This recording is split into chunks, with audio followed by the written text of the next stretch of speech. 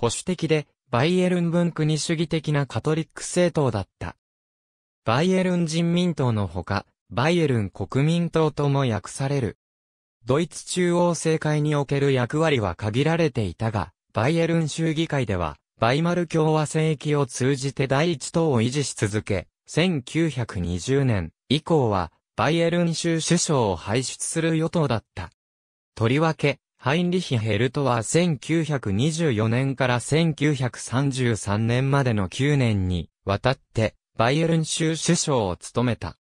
1930年以降は少数与党政権となり、1933年に国家社会主義ドイツ労働者党が中央政権を獲得すると強制的、同一化政策の中で、バイエルン州政府は解体され、バイエルン人民党も自主解散に追い込まれた。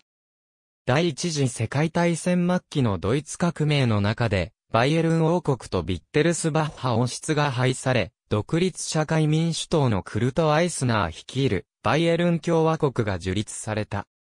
この革命の進展に、バイエルンのブルジョワ勢力はなすすべもなかったが、勢力の立て直しを図るべく組織の改装を急いだ。また、バイマル共和制初期の中央集権的傾向に対するバイエルン人の危機感も強まっていた。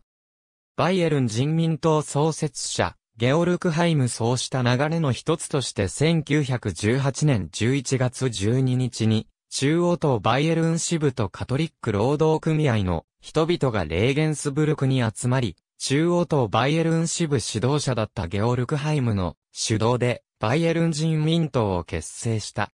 キリスト教的社会綱領を掲げるとともに、バイエルンの独立性を強調し、中央党本部のマティアス・エルツベルガーの中央集権政策に反対した。アイスナーは、バイエルン人民党をはじめとする、ブルジョワ諸政党をほとんど考慮に入れていなかったが、バイエルン人民党は、ミュンヘンで高まるボルシェビズム的風潮を警戒して、レーテによる不当な政治干渉を防止すべく、バイエルン州議会の招集を求める運動を展開した。ドイツ社会民主党も議会招集を求める運動を行ったため、レーテに偏っていたアイスナーもついに議会招集を認めた。1919年1月12日と2月2日に行われたバイエルン州議会選挙で、バイエルン人民党は35%の得票を得て66議席を獲得し、第1党となった。アイスナーの独立社民党はわずか2.5%の得票で3議席しか取れなかった。この選挙結果を受けて、バイエルン人民党をはじめとするブルジョワ諸政党と社民党は議会招集に加えて、アイスナーの退陣を求めた。逆にレーテ派はますます議会招集を嫌がるようになり、レーテ派と議会派の対立は先鋭化していった。しかし社民党の運動により、2月19日のバイエルンレーテ大会は、レーテの全権能を2月21日に開会される議会に譲渡することを決議した。アイスナーは2月21日にバイエルン議会に登院し、そこで辞職を表明する予定だったが、その道中に、右翼青年将校アントン・フォニアルコ・アオフ・ファーライ、伯爵に暗殺された。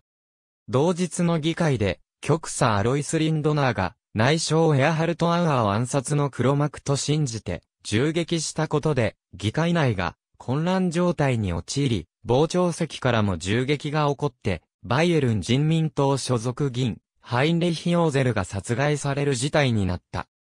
1919年のバイエルン人民党のポスター1919年2月21日以降、麻痺した議会に代わって、バイエルンレーテ中央評議会が権力を掌握したが、社民党と独立社民党の交渉で、ヨハネス・ホフマンを首相とする、社民党、独立社民党連立政権が作られることになった。バイエルン人民党は、選挙に勝利して第一党になっていたにもかかわらず、全くの少数派である独立社民党が、社民党と連立して政権を作るのを黙認した。今は自分たち自らが組閣することより、議会政治への移行を円滑に進めねばならない時だと考えたためである。3月17日に議会が招集されたが、バイエルン人民党はじめブルジョワ諸政党が妥協する形で、全会一致で、ホフマンが首相に選出された。しかし議会は、議会派とレーテ派の危うい均衡の上に開催されただけだったので、ホフマン政権選出後すぐに議会は閉会され、レーテとホフマン政権の合意によりしばらくは議会抜きで政治を行うことになった。4月7日にレーテ派がミュンヘンで革命を起こして、レーテ共和国が樹立され、ホフマン政権がバンベルクへ逃れる事態となるも、中央政府からの援軍も得て、5月初旬に、レーテ共和国を壊滅させた。ミュンヘンを奪還したホフマン政権は内閣改造を行い、バイエルン人民党所属のカール・フォン・フライベルク、男爵が財相として、ホフマン内閣に入閣した。1920年3月に、カップ一期の余波で、バイエルンでも、右派の無血クーデタが起きて、ホフマン政権は打倒された。その後バイエルン人民党の政治家、グスタフ・フォン・カールが、バイエルン首相に就任。移行バイエルンでは、秩序細胞バイエルンと呼ばれる、バイエルン人民党員を首相とする保守政権が続き、バイエルン人民党が歴代政権を支えていくことになる。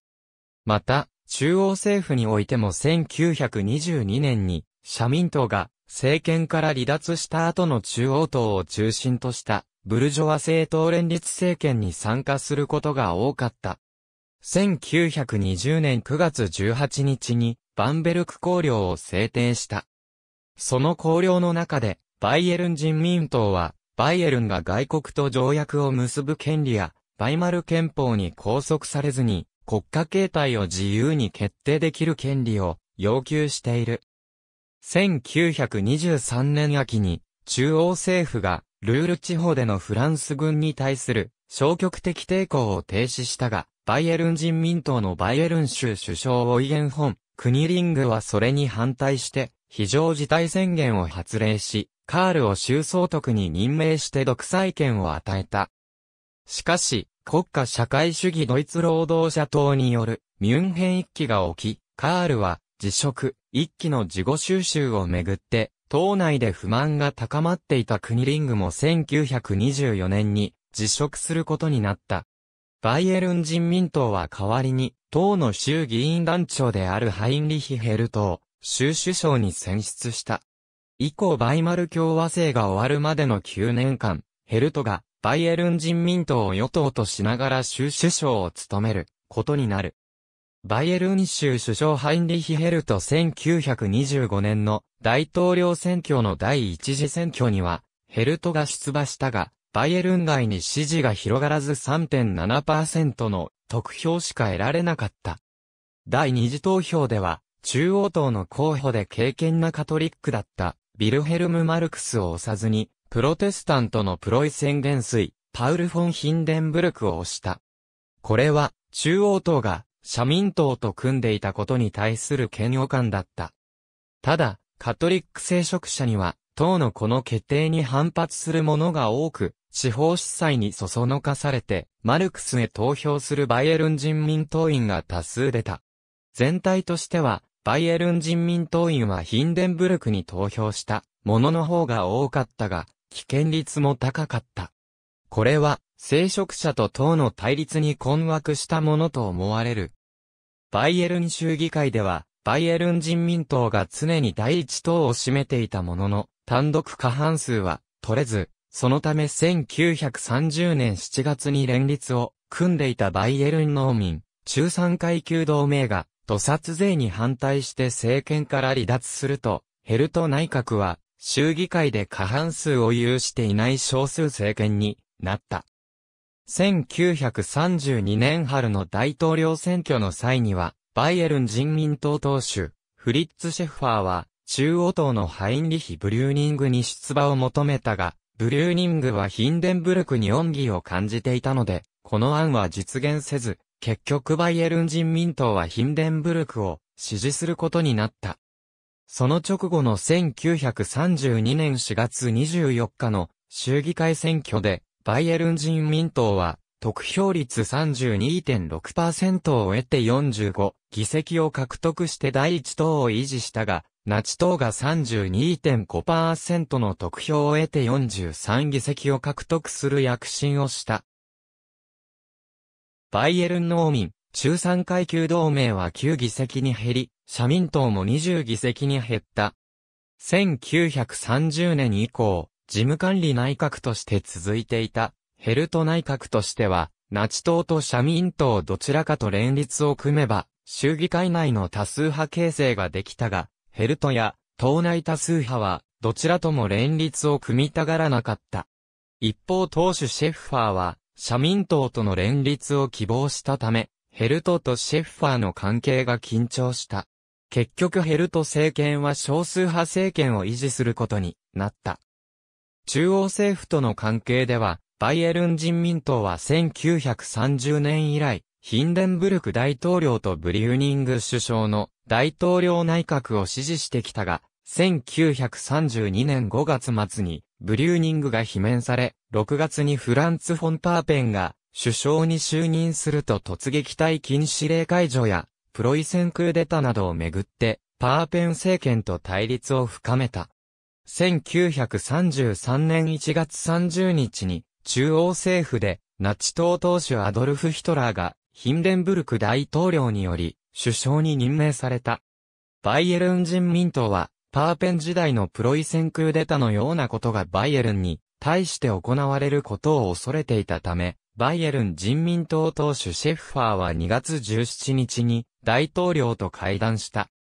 大統領はバイエルン政府に苛立っていたものの、シェッファーがバイエルンに帰国した後、プロイセンのように国家全権委員をバイエルンに送り込むことはしないことを確約した。だが、ヒトラー内閣内務大臣、ビルヘルム・フリックが強制的同質化計画を口にするようになった上、2月28日には、国が治安維持のために必要な措置を講じない場合は、当該国の全面的支配権が中央政府に委ねられるという規定を含む国民及び国家保護のための大統領緊急令が発令された。警戒を強めたバイエルン人民党内では、旧バイエルン王室のビッテルスバッハ家の王政復古計画が進められた。シェッファーは、ループレヒト皇太子と接触し、皇太子からバイエルン政府が全面的に支えてくれるなら、福井の用意があるとの確約を取り付けた。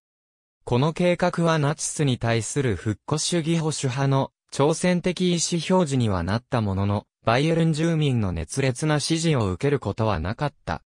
ビッテルスバッハ王室が、今なお、バイエルン住民の広範な支持を受けているというのは、俗説に過ぎず、もはやバイエルンに、応答派など知識人層を除いては、ほとんどいなかった。ヘルトも、王政復古に慎重姿勢を崩さなかった。大統領緊急令の翌日に、ヘルトは、ベルリンに招集され、ヒトラーと会談した。ヘルトは、ヒトラーとの対決を回避すべく、これまでのバイエルン政府が、歴代ドイツ首相に対してそうしてきたのと同様に、ヒトラーにも、敬意を払うことを約束した。ヒトラーの方も、ハンブルクやヘッセンなどいくつかの国に、中央政府が介入したのはそれらの国を、社民党が牛耳っていたためであり、保守派が牛耳るバイエルンにはそうした行動を取るつもりは、ないと約束した。ただヒトラーは、王政復古はいかなる形でも認めず、もしバイエルンが王政復古を強行した場合には、軍が差し向けられることも示唆した。ヘルトは、元より王政復興を真面目に考えていたわけではなかったので、ひとまず安堵して帰国の音についた。ところが1933年3月5日の国会選挙にナチ党が対象すると、ナチ党政権はこの最新の選挙結果をすべての国政府に反映させるべきと主張して各方に中央政府に自治権を譲渡するよう圧力をかけるようになった。ブレーメンとヘッセンは3月6日、バーデンとビュルテンベルク、ザクセンは3月8日に自主権を中央政府に移譲した。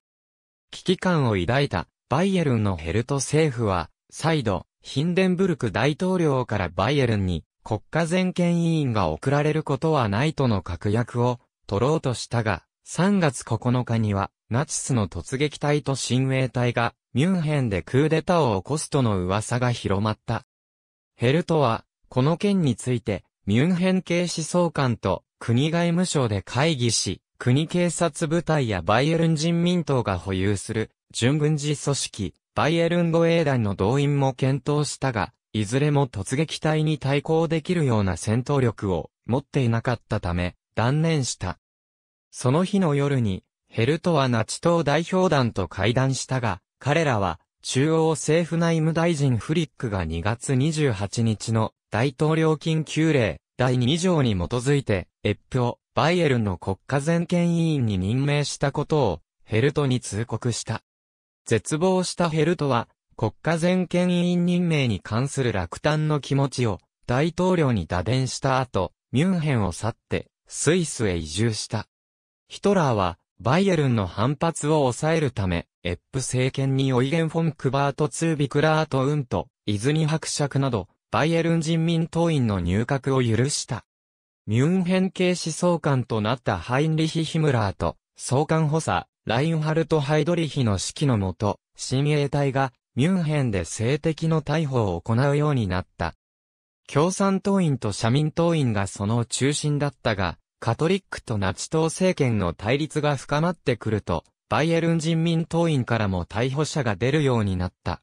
そのため晩春には、バイエルン人民党は、集会を開くのを中止するようになった。6月に、ヒムラーから、ナチ党を除くすべての政治団体の集会を禁止する通達が出されたのを受けて、バイエルン人民党幹部は7月4日に、党の回答を決定した。キリスト教の価値観を公的生活に適用することを唱えた。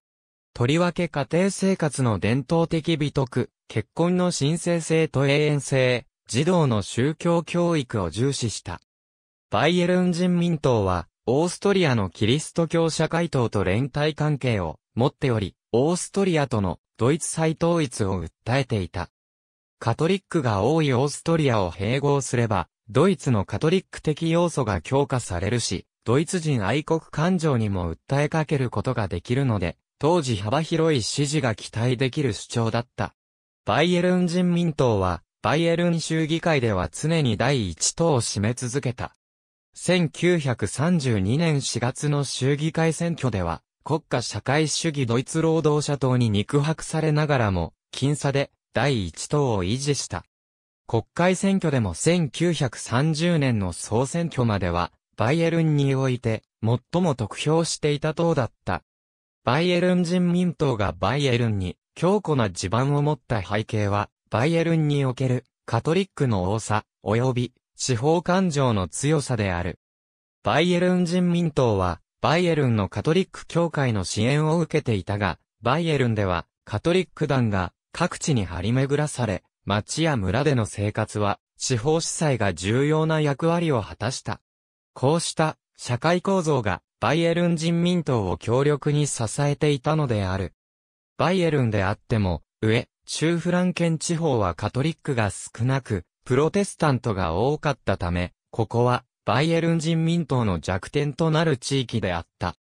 バイマル共和制末期に、バイエルン人民党が、州議会選挙でナチスに肉薄され、あるいは国会選挙のバイエルンの選挙区でナチスに追い抜かれたのは、ナチスがバイエルンの農村に食い込むことに成功したこと、及び、バイエルン人民党の支持層であるカトリックに、ナチス支持層が増えたせいだった。カトリックは1870年代のビスマルクとの文化闘争の時代には一致して中央党に投票したものだが、文化闘争が収束した後はカトリックが宗派政党へ投票する率は減少傾向が続いていた。